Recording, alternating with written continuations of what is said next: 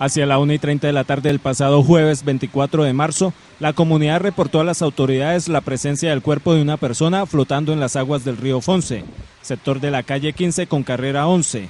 Los organismos de socorro acudieron al lugar donde divisaron el cuerpo de un adulto mayor detenido sobre una roca. Inmediatamente unidades de rescate de la policía y del cuerpo de bomberos de San Gil se dispusieron a realizar la recuperación del occiso, logrando sujetarlo con una cuerda y posteriormente llevado a la orilla para seguir con el procedimiento de levantamiento a cargo del Cuerpo Técnico de Investigación CTI. El cadáver fue trasladado a la morgue de San Gil para efectuar la respectiva necropsia médico-legal para su identificación.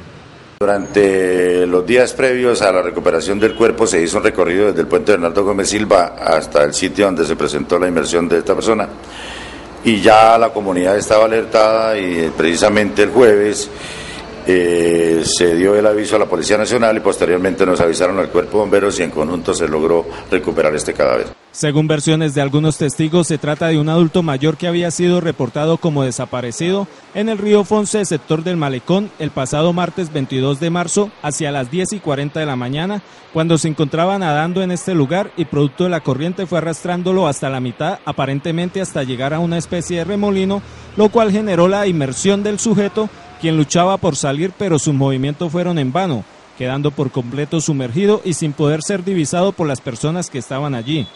Esta persona, quien puede tratarse de Jorge Galvis, teniendo en cuenta el relato de un supuesto amigo que se encontraba con él minutos antes de lo ocurrido en el sector del Malecón el pasado martes. El informativo Telesangil logró dialogar con una persona quien dice ser familiar y que en el momento de la recuperación del cuerpo reconoció a la víctima manifestando que se trataba al parecer de su tío identificado como Douglas Pernía Merchán de 53 años de edad y oriundo de Venezuela. Asegura que su tío había sido reportado desaparecido.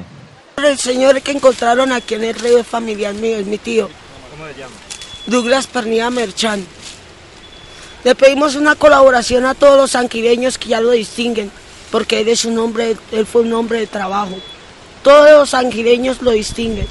Le pedimos un favor, no quiero dejar que mi tío lo vayan a quemar ni nada de eso. Regálenos la colaboración para aunque sea que él pueda descansar tranquilamente. La identificación del occiso será confirmada de acuerdo a los resultados de los exámenes médico-legales. Por el momento las autoridades no se han manifestado al respecto.